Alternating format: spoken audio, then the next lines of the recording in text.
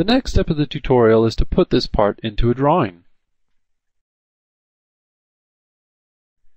In the drawing we'll add a front view, a section view, a detail view, and a shaded isometric view.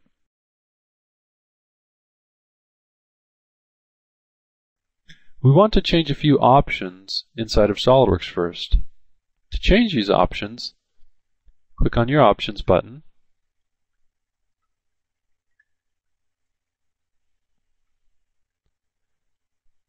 We want to change a few general system options, so on the System Options tab, we'll click on Drawings, and we want to click on Display Styles.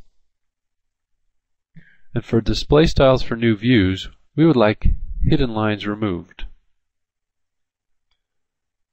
We would also like the tangent edges in new views to be set to removed. Once that's been changed, hit OK. We'll now make a drawing out of this part.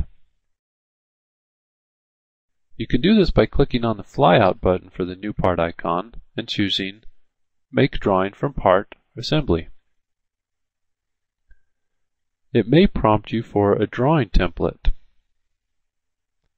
Hit OK.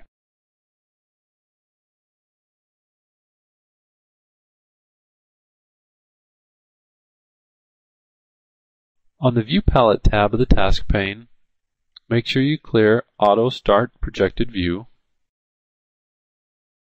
and then let's drag a top view onto our drawing.